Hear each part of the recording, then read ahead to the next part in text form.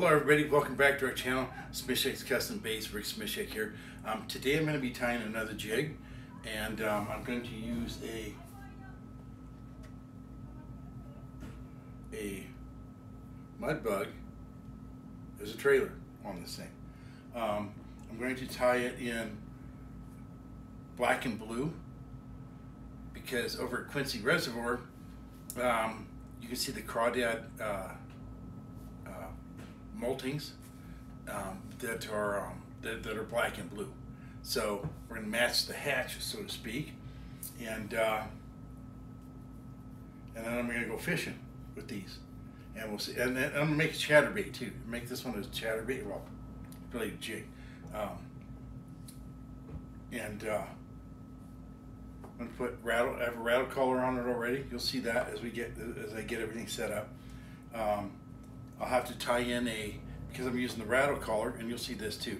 Um, because I'm using the rattle collar, um, I'm going to have to tie in a um, a retainer for for the soft plastic, which we'll, we'll show you that. Um, so without any further ado, let me get set up and. Uh, move the camera and, uh, and we'll get started tying this bad boy. All right, so let's go ahead and get this ball rolling here. Um, what I've got here is I've got two of these pieces here. These are the, the keepers for, uh, for the soft plastic trailers. Um, you notice this one looks a little bit different than this one. Well, I cut this end off of this one here, okay? And because you don't need both those hooks, right? Um, now I tried to do this just a minute ago and I found out that this end is pretty sharp, okay? Oops, that was stuck to my finger. Um, so I'll have to uh, I'll have to be careful as I tie this piece in, right? So I'm not hitting this and, and, breaking my thread like I did before. So let's go ahead and give it a shot and see how we're gonna do. Let's go ahead and wrap this thread, okay? I'm, I want to put a decent thread base here. I want to start, I want to go back a ways. Let me go ahead and snip this tag end off now. That should be enough. Okay. Right.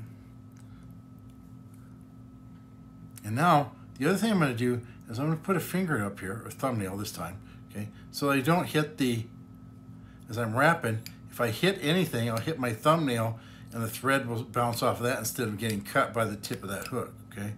And I can just keep wrapping back like this. Okay, don't have to worry about hitting that.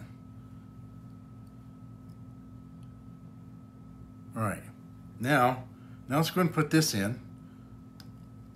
And I have to make sure that I'm not hitting this tag end with the thread because um, it keeps cutting it. Uh, so we'll see what happens there. I might have, to, I'll, I'll figure something out to do that in the future so I don't have to worry about that. Maybe I'll get out my Dremel tool and just um, and just sand those down just a little bit. Okay, here we go. Let's go. There's one. There's two. Right. Let's come back here. I'm going to put my thumb back up here again. And I'm going to wrap gently, not too tight, but just a little bit snug as I come back. All right. And we're going to get that most of the way back. There we go, just like that. And now let's wrap. Wrap nice and tight. Because this is one thing we do not want coming off. Right? And you know what? I forgot something again. I thought I, I today I even set everything out. I set everything out, looked at it like four or five times, went through my head. What do I need? What do I not need? Um, is, is what am I missing? Got to be missing something, right? Because I forget something every time. Guess what I forgot? Even after doing all that, I still forgot something. I forgot the stinking glue. okay, so now what I'm going to do here is I'm going to go ahead and I'm going to go ahead and whip finish the ooh. Let's do this here. There we go. Pull that out. Now this thing, this rattle collar here is kind of uh, kind of in the way a little bit. There we go. Got that one done. Let's do another one.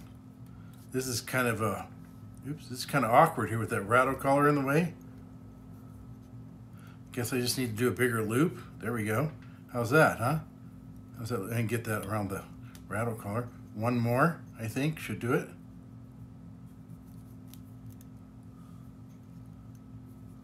Uh, let's do one more. Just because that one actually went pretty good. Oops, that one didn't. I need to practice a little more with this here so I can, especially with something with big stuff like, like that rattle collar being in the way. Okay, let's make it bigger. Oh, you know what, screw it. Let's just do this. There we go. I did, I got three or four in there. That should be good enough. Okay, let's cut that. Grab the glue. I'm gonna glue that down.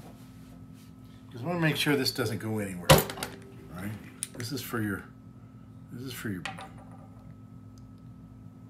for your trailer bait there, okay? There we go. There's plenty of glue on that now. And no sniffing the glue jars, okay? I don't even know, is that still a thing these days? I know when I was in junior high, sniffing glue was was was a pretty big thing. Kids would go buy cans of spray paint and um, model glue and anything else you can think of just to try to get high. Okay. All right, there's my first my first wrap around the head. We're gonna go ahead and put these we're gonna go ahead and put these uh, skirts in. Right now let's do one thing I've noticed is that when I when I measure it like exactly half, as it folds over this way, this end ends up being a little shorter. So I'm gonna come up just a little bit we're gonna put it right here. I'm gonna come up just a little bit. We'll measure, I'm gonna make this side a little bit longer and hopefully the skirt will, will lay on there. Oops, it's rolling that the wrong way. Let me get this couple easy ones there, nice and smooth. Let's move this around a little bit, spread it out. All right.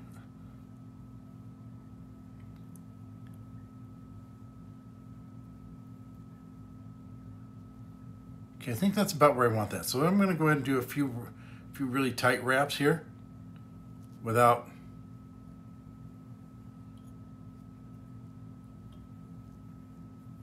Okay, my vice, let's do that there. My vice isn't very tight, my jaws this time. I didn't want to overdo it because if you consistently over tighten your, the jaws in your vice, you'll ruin them. And we don't want that. Okay, so now let's come this way here a little bit. We're going to put another, I'm to lay another one here. I'm to try to do like a third, a third, a third. So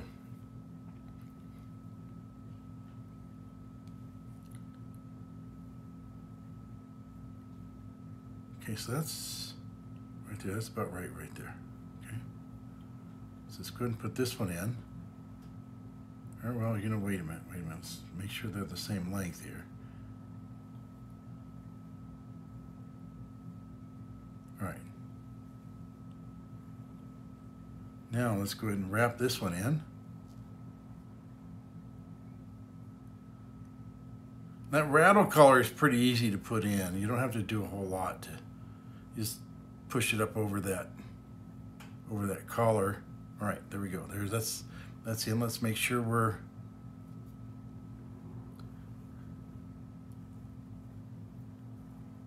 Okay, this one can come down a little bit. I can spread, move this down just a little bit there. Okay.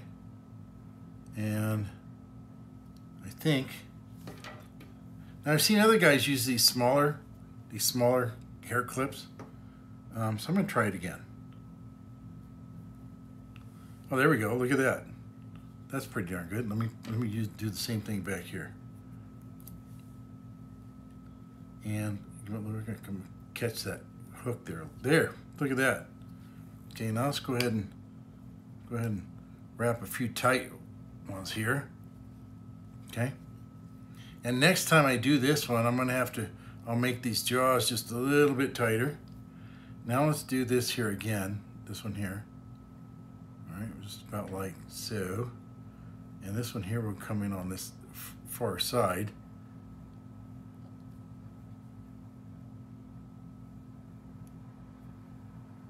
couple easy wraps, not too tight.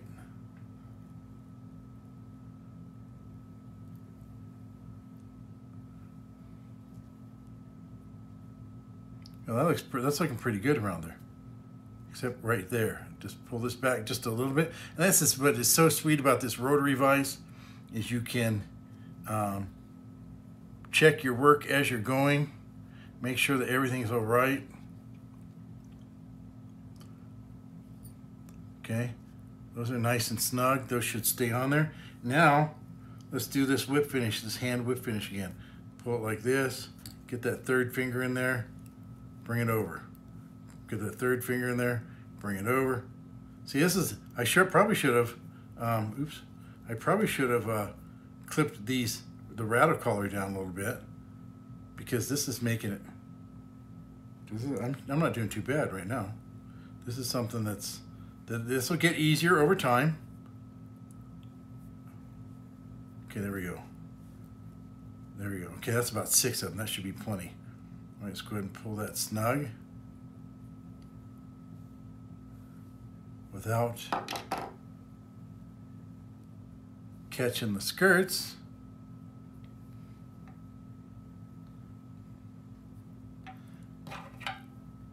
Lift that up a little bit. There we go. All right, there we go. That's it. Go ahead and snip our snip the end of it.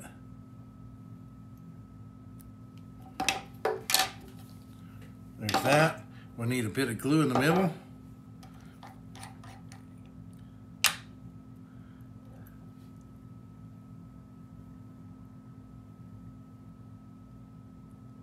There we go. That should do that. All right.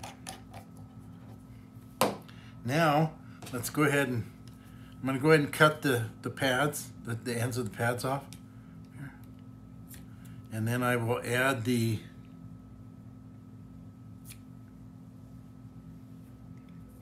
I will add the hardware for the jig blade.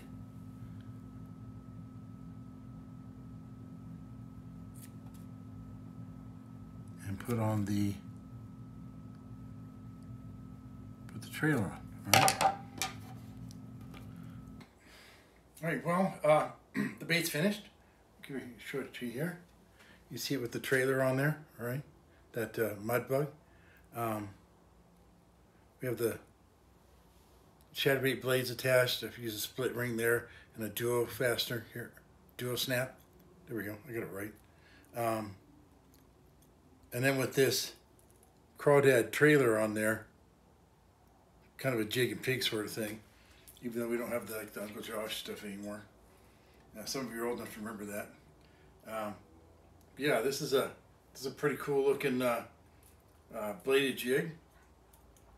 And uh, it's my first one. So, uh, so I have to go try it out. To try this thing out, see how it fishes, and uh, and then make more. um, I'm not sure if I no that's not right. I was just for saying there. I was thinking maybe I get the dual snap on on backwards.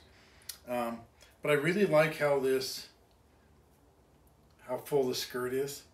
Um, of course, there will be times when the bass don't like that full of a skirt, because they, just because they can be finicky.